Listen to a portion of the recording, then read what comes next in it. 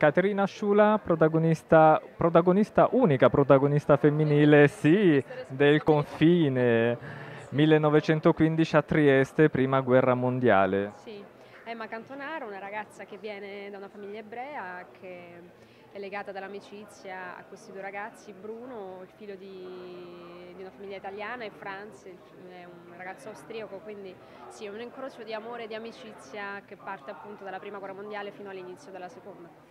Personaggio tutto tra amore e famiglia. Sì, amore e famiglia e anche, da, anche appunto da questo punto di vista è una ragazza molto determinata per quell'epoca, è moderna molto in quello Emma, perché è una ragazza che va fino in fondo per l'amore, per l'amicizia, va fino in fondo anche contro la famiglia, che insomma è una, è, è una cosa molto rara per, per, quell'epoca in una famiglia così rigida di, di costume e di usanze.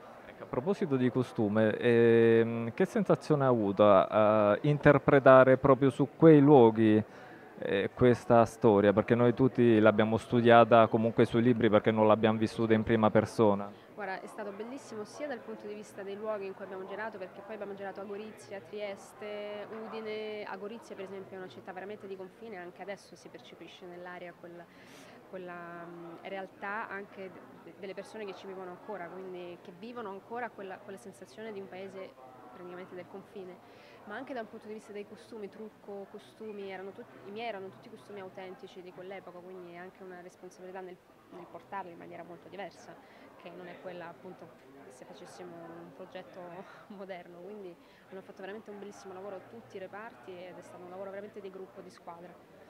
Da donna a donna, come reputi Emma?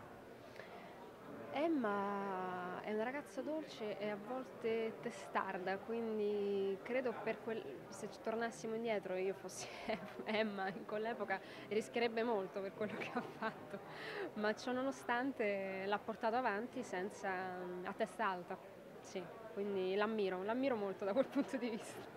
Senti, tra i tuoi prossimi progetti sappiamo che uscirai a breve con un film e sarai poi in teatro. Sì, io sono in teatro adesso fino al 20 maggio con la commedia Uomini Separati di Rosario Galli, sono a Teatro dell'Angelo e sarò al cinema con Hotel Gagarin dal 24 maggio, che è una commedia corale con Battistone, Argentero, Bobulova. Sì.